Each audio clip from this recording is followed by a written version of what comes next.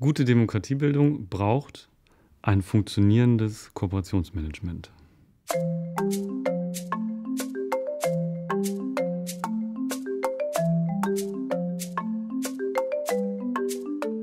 Mein Name ist Julian von Oppen. Ich arbeite in der Landeskooperationsstelle Schule Jugendhilfe bei Cobranet in Potsdam und begleite Kooperationsprozesse zwischen Schule und Jugendhilfe.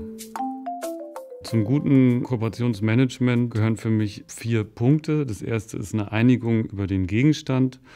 Das zweite sind gute Strukturen der Zusammenarbeit sich zu schaffen. Das dritte ist so die Ressourcen und Grenzen der Organisationen kennen, die beteiligt sind. Und das vierte ist ähm, so eine gemeinsame Kultur zu entwickeln, wie man gut zusammenarbeiten kann. Wenn man sich überlegt, dass verschiedene Institutionen zusammenarbeiten, die unterschiedliche Herangehensweisen an pädagogische Fragen haben, Schule und Jugendhilfe oder außerschulische Partner, dann treffen da auch unterschiedliche Vorstellungen von Pädagogik, von Grenzsetzung, von Autorität, von Hierarchie aufeinander, die äh, abgeglichen werden müssen, worüber es eine Klärung geben muss, wer erwartet hier eigentlich was von den Kindern und Jugendlichen. Das heißt, es braucht immer auch so eine Aushandlung der Professionalität und zwar der pädagogischen Professionalität, nicht nur der fachlichen Professionalität.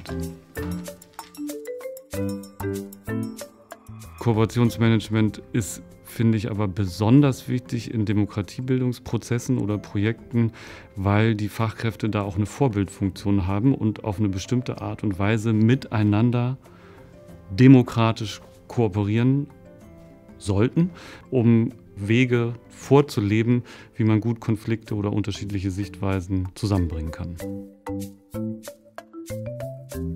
Aus meiner Sicht ist es im Kooperationsmanagement wie in jeder zwischenmenschlichen Beziehung auch. Es braucht eine Klarheit, es braucht eine Offenheit und es braucht eine Verlässlichkeit. Klarheit im Sinne von, was kann ich, was will ich, was kann der andere, was will der andere.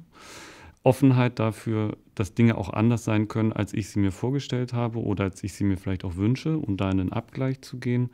Und Verlässlichkeit im Sinne von, wenn ich was zusage, dann halte ich das auch ein und bin nicht ganz plötzlich ganz anders, als eigentlich angekündigt war.